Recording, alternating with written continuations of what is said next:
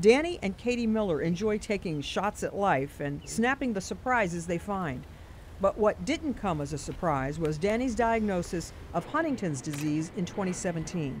My father had Huntington's, so um, my sister has it too. The initial response was, you know, kind of devastation.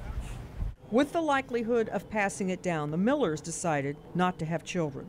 At this day and time, until there's a, a better answer for the, the quality of life, it just it seems like a bad idea.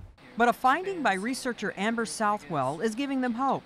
Ionis Pharmaceuticals synthesized pieces of DNA called ASOs, and Southwell injected that into the brains of mice to stop production of the mutant form of the huntingtin protein that causes the disease. With the suppression of the mutant huntingtin in mice and neurons in a dish, we're able to either prevent the onset of symptoms or actually restore normal functions if we start treatment after symptoms have begun. These findings are leading a pathway to human clinical trials. That's good news for Danny. Chances of a longer and better quality of life, that's, that's a, it's not a cure, but it's a, it's a damn good start, that's for sure.